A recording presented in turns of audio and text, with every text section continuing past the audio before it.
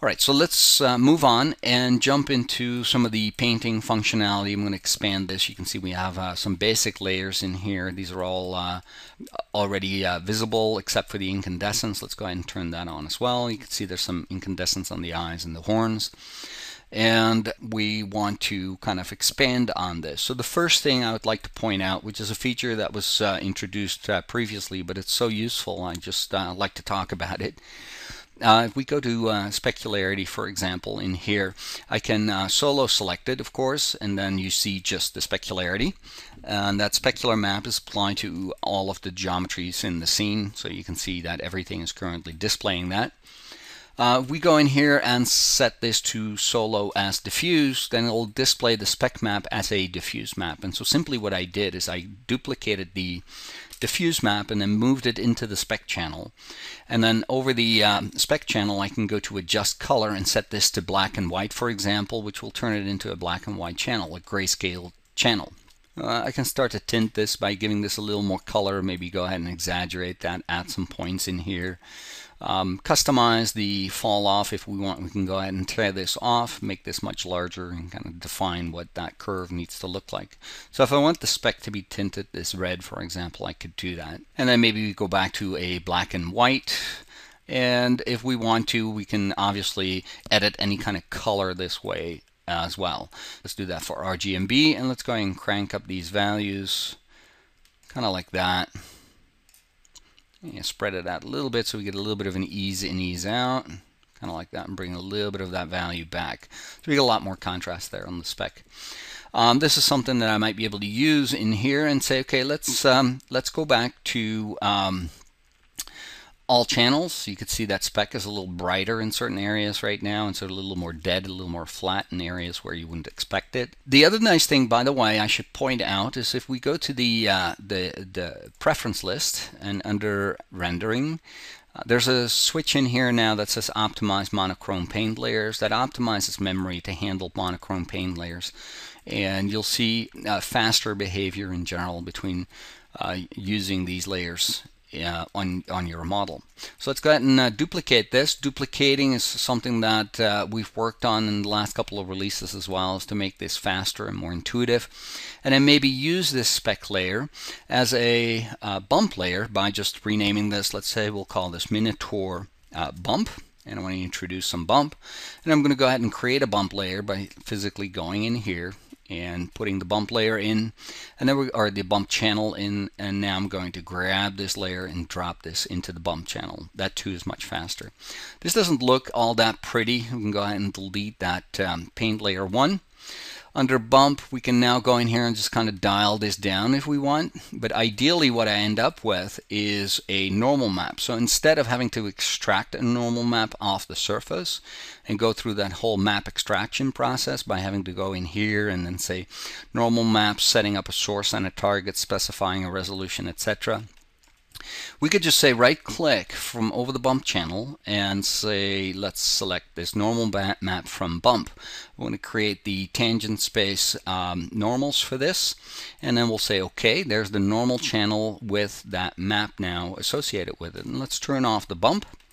And let's dial down the, the normal intensity to something that is a little more realistic.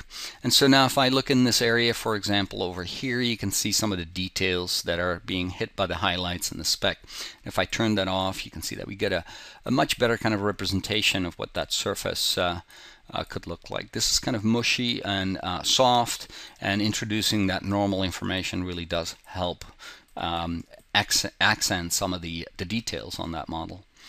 Okay, so uh, once we have our normal maps set up, uh, we can start to deal with illumination as well. And so if I move the light on the surface, you can see that we get proper light interpolation on the surface. The map is responding to the position of the light. Let's go ahead and focus in on this uh, loincloth. I'm going to talk about uh, one of the other channels while we're on channels here uh, related to this model. So let's go ahead and turn this on or off and you can see that this too is also covering that loincloth. There's a lot more detail that kind of gets accentuated by the uh, through the use of that normal map that we have now. So let's uh, let's go in and just kind of uh, resize the brush here. I'm going to focus in on this. I'm going to create a uh, an opacity channel. So let's set this to opacity and 2K uh, is fine for this smaller piece. And there's our uh, opacity channel right there. We'll call this uh, loin cloth, something like that, so I know what it is. And we can start to paint um, some transparency on this surface. Now, Mind you that the shader assigned to this is the Minotaur Body shader. So it's all the same shader. Uh, this is the cloth object, uh, the node named cloth object. And what I'd like to be able to do is just uh, simply go in here and paint with uh, one of the paint brushes. Let's go ahead and set this to a black value.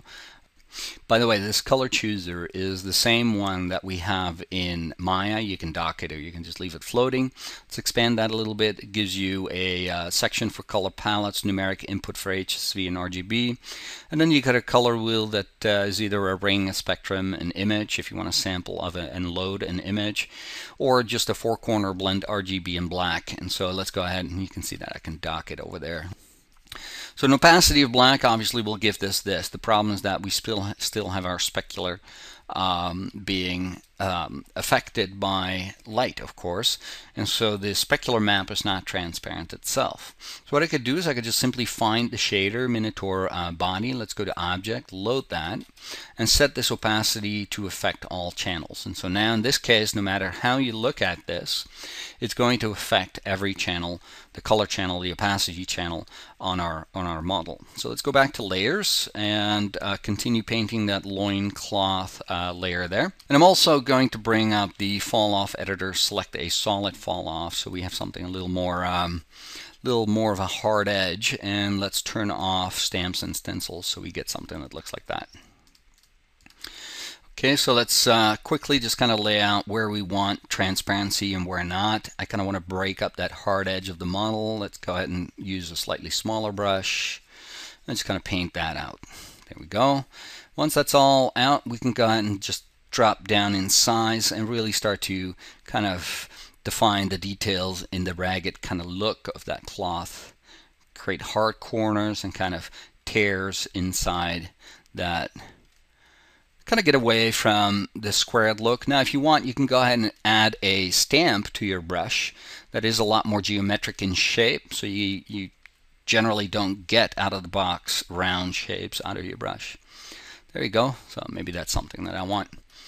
Um, so there's the loincloth. Let's go back to show all. And uh, at this point, we um, can start to talk a little bit about, let's talk a little bit about painting across multiple objects. So we have multiple objects in the face. We have a scrunchie, we have a nose ring, eyeballs, all different objects on the, the geometry of this character. What I'd like to be able to do is paint across them using a paintbrush, actually use a, a projection brush, and use a stencil. So let's go ahead and turn everything off. I'm going to go into my image browser and I'm going to browse for uh, these stencils, these stencils are associated with uh, the build of this character and so you can see that we have a lot of tribal type tattoo material. We have some handprints kind of like a, a, an orc type look from um, you know, some of the orcs you've seen in the past. I'm going to load this as a stencil in the scene and then we can go ahead and kind of position this over the model. Let's get a little closer to the model and then uh, jump into the diffuse channel. I want to create a 4K map here a little bit higher in resolution, allowing you to pick up some of the detail in the in the hand as far as like the creases and the scratches and that texture. So let's go ahead and move this over the over the character, increase the size of the brush, and we're going to go ahead and use a uh, there we go. We're going to go ahead and use there we go. That's the map the channel that I want to create that map for, not opacity. I actually accidentally dropped it in opacity. We can kind of go ahead and scrub this into the surface. You can see we get all the detail. And that kind of thing works for all your um, brushes. So if I select a paint erase brush, for example, and rotate the stencil or reposition it or rescale it, I can now go ahead and erase parts of that stencil by having a handprint that erases from the previous one. And so that's a quick way to generate some paint that sits on the uh, on the character. Now something else that I could do that's interesting with stencils is the ability to be able to load a stencil and let's say I load a stencil that is the same one but essentially a different color and I'm going to go into projection and maybe move this around a bit just like that and get it positioned over the shoulder maybe he had a hand slapped on his shoulder across multiple geometries again and in this case, what I'd like to do is be able to edit the stencils so I can get more mileage out of what I can do with this. Let's see, we can go to Edit Stencil. We can define whether that stencil is displayed in opaque mode, in uh, transparent mode or in alpha mode. So this is opaque, transparent, and alpha. Now if you your model goes uh, completely purple, that's just offloading texture. So let's go ahead and turn off that switch under preferences called use GigaTexel Engine and that should refresh properly. Now when I hit the wire you can see that there's a plane that stencil sits on which is kind of nice. So if I uh, decide that this is my stencil and it's uh, it's it's done or maybe I want to go back in and edit this because I don't like the, the shape, we can just simply go in and select one of our sculpt brushes and start to modify what that stencil looks like. So let's go ahead and increase the size of that a bit. Kind of want to move this around and change the proportions of this a bit to create shorter fingers and a larger hand, something like that. And then maybe I want to go down in here, kind of make smaller changes to this. So I can customize this however I want. Then if I say done, we can go ahead and turn the wire off and maybe reposition this over the shoulder. Start to rub this new texture onto the surface. You can see that. We're going right across uh, some of the um, geometries that are in the scene that are on this character. And so once we're done with that, we can turn that stencil off and you can see we get a totally new effect.